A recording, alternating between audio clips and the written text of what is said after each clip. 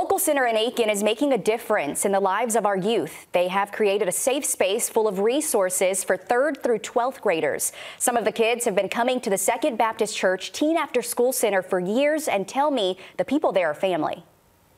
It's more than just the after school center, it's more like home. Jatasia Moment is 16 years old and has been coming to the Second Baptist Church Teen After School Center since she was in first grade. It's more than just homework.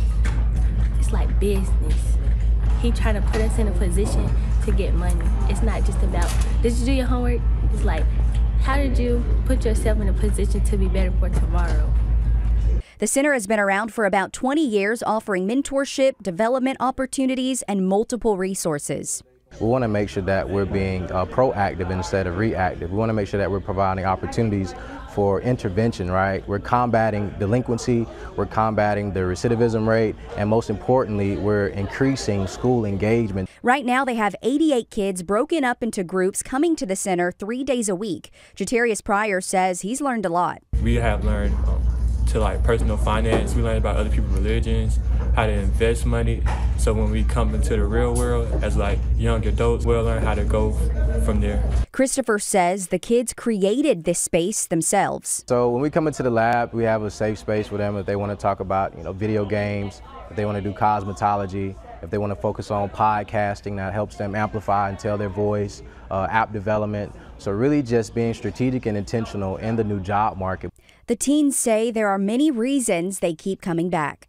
Finding a way to become a better person than I was when I first came into when I leave, because I know we all got to leave one day. And then the next generation, they looking up to us, so, you know, trying to be a role model for them. This is like another home where everybody can comfortable open up to each other and just talk about whatever they need to talk about and get help and other opinions. So I'm grateful for a space like this. And it really is just a great space to have. They also focus on health and wellness and recently created a community garden you see right here. They do partner with the Department of Juvenile Justice. They also work with schools and parents to get kids in the door. And of course, if you're interested, there is an interview process beforehand. So they meet Tuesday through Thursday from 3 until 8. And we do have a contact uh, number for you on the website if you want to find out more. And they're good at what that garden's already growing, really coming up out of the out of the borders there. Exactly, exactly. They're really learning a lot, and they just tell me they really want to serve all kids from all walks of life. And podcasting too. yeah. I like that. So many talents. Good stuff.